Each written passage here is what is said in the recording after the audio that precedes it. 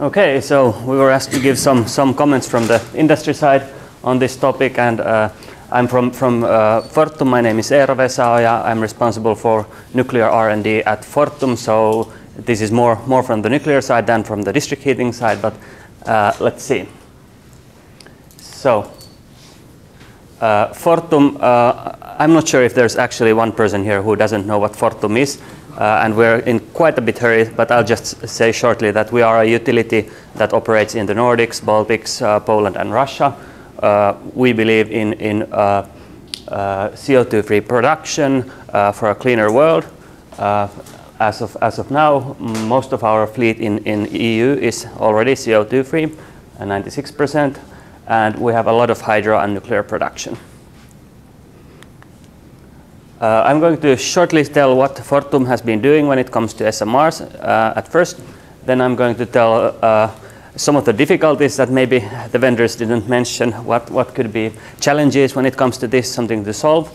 And then uh, I'm going to uh, go to the positive side, what are the opportunities? I think Rauli's report already mentioned the opportunities, maybe 4 million tons of CO2 emissions reduced in Finland was one of the opportunities. And then I'm going to answer the question that I will be asked if I don't answer it. So what's Fortum going to do? it's going to be quite, uh, quite uh, not as interesting as some might think.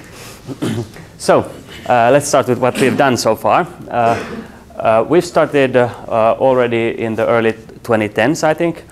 in 2013, one doctoral dissertation was finished on, on licensing of SMRs, and I think this is the third time you see this licensing licensing image this was done in the, in the PhD, uh, and this is somewhat similar than we've seen already twice here.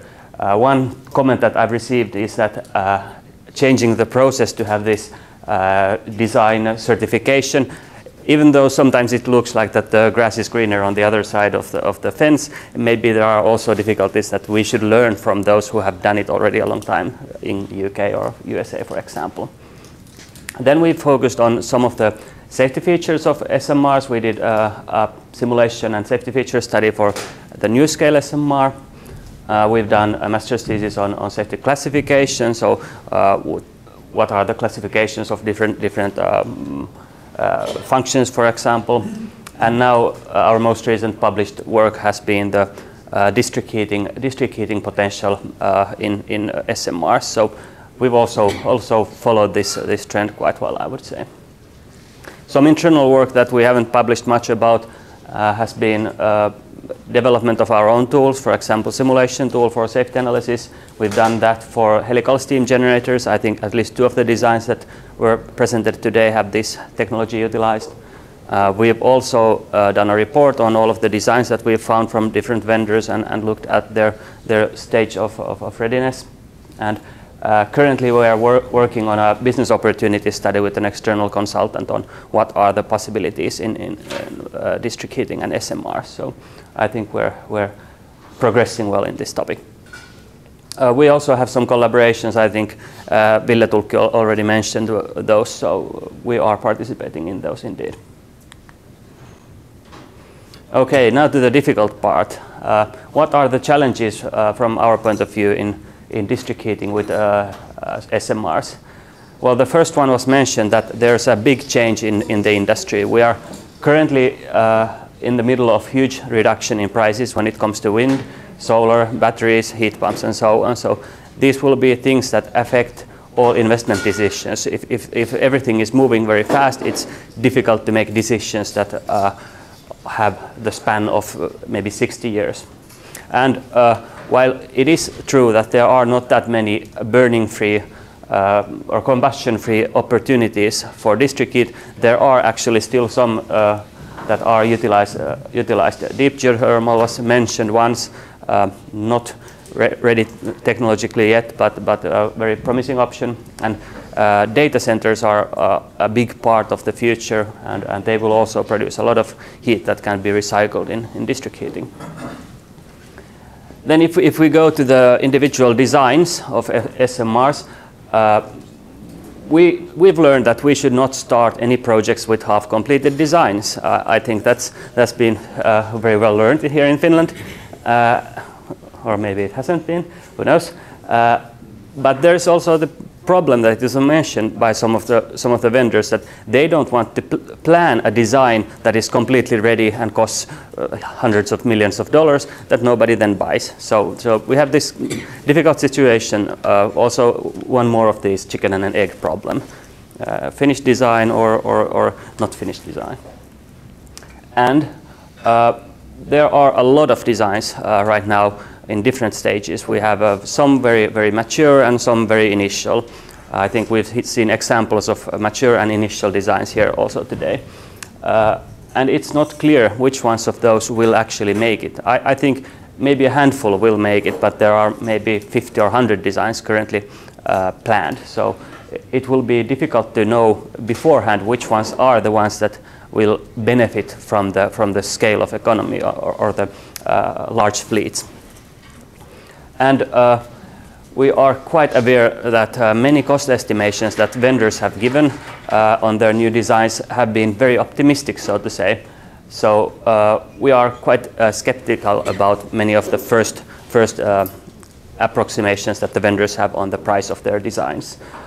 we have some sensitivity analysis done on, on the designs, and many of the most important things are, are the cost of capital, for example, and, and uh, also also the price of price of heat, of course.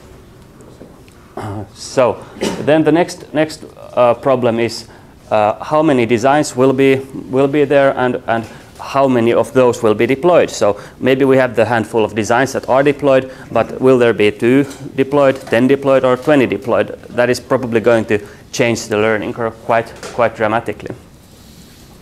And then uh, the last, uh, last challenge that I'm going to have here is, is many of the designs have been done for the global markets where electricity is still the main focus and, and remains probably the main focus for quite a long time as it's very important.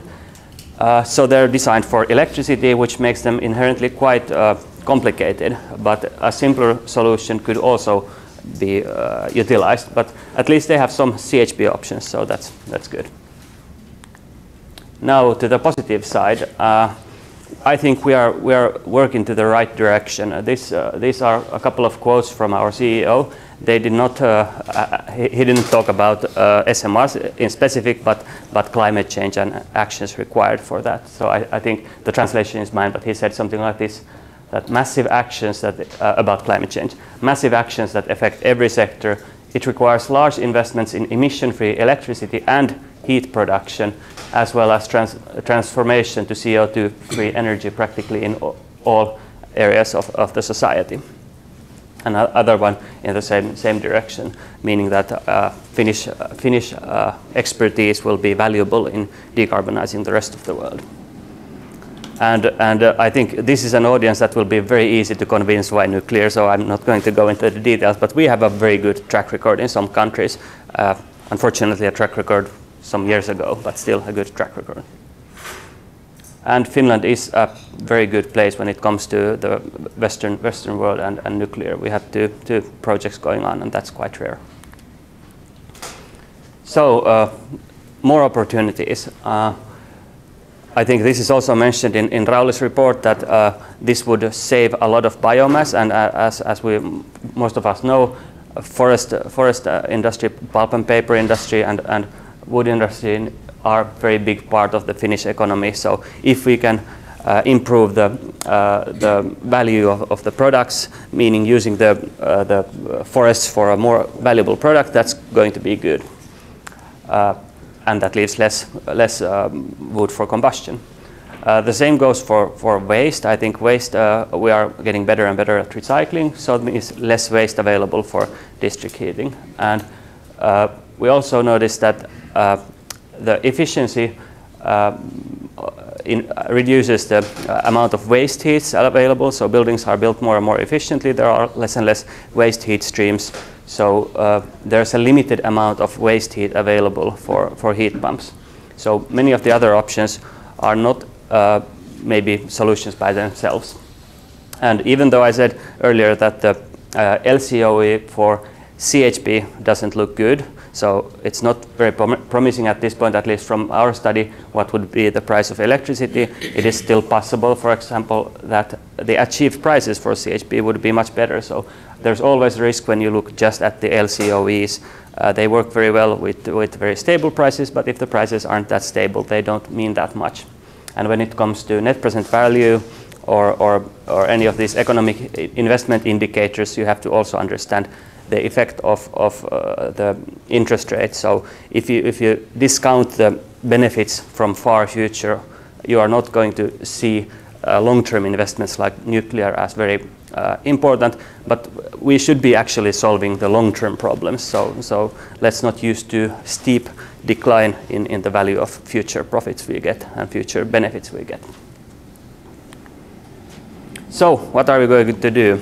Uh, as of now, we are kind of, kind of in an exciting, exciting point, uh, but still uh, we have we have no current investment plans and we have no commitment, commitments to any vendors. So uh, our work is in R&D, which, which is my responsibility, so I'm very excited about that, but uh, I'm not the manager of very huge investments, so as you understand, uh, that's not the kind of decisions I would be making.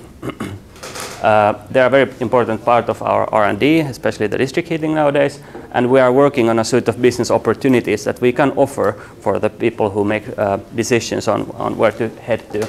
And uh, whatever the decisions will be, I think Fortum has a very good set of uh, skills to work on this area.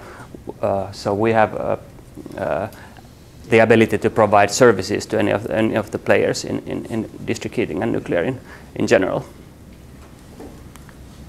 So that was the accelerated version of my presentation. I know there's coffee waiting, so I wanted to be fast. Thank you.